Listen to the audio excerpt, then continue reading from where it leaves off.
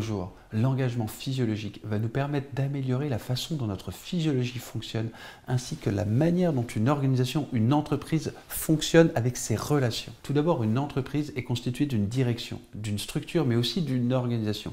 La manière dont des organes fonctionnent entre eux. Il en va de même de notre corps. Nous avons des pensées qui nous orientent dans une direction, nous avons une structure, une posture, et nous avons aussi des organes qui fonctionnent en bonne intelligence. C'est-à-dire que vous avez beau travailler sur vos pensées, sur votre mental, que ce soit par de la méditation ou par des réflexions, si vous n'agissez pas sur le corps, vos émotions ne vont pas aller dans la bonne direction.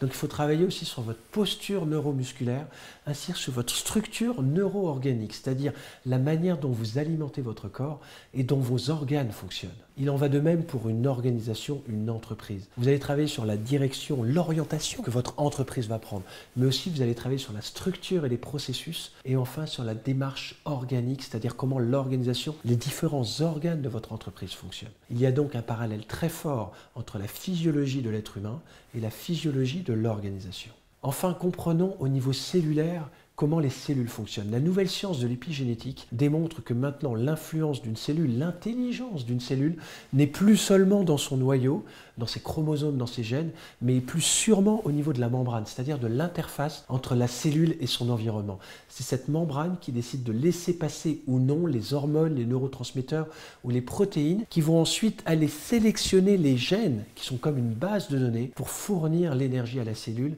et lui permettre d'agir. Il en va exactement de même au niveau d'une entreprise et d'une organisation. Travaillez déjà sur les talents, en effet, à l'intérieur de vos cellules, de vos équipes, mais surtout sur les interfaces et les relations entre vos cellules, et mettez-les dans un environnement qui permet d'inspirer dans la direction où vous voulez aller. En d'autres termes, travaillez sur votre culture et la manière dont vous allez modéliser et inspirer cette culture à partir de ses talents et de la qualité interrelationnelle entre ces cellules. Enfin, découvrez cette vidéo de Harvard concernant le fonctionnement d'une cellule et voyez la complexité qui se gère à l'intérieur et comment notre corps permet d'engager de l'énergie. Merci.